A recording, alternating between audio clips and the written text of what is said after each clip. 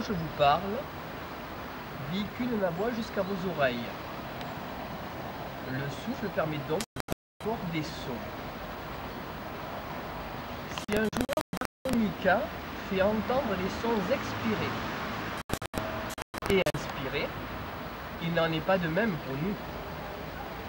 Vous remarquerez que lors de l'inhalation, le fait d'inhaler de l'air donc, ou d'inspirer de l'air,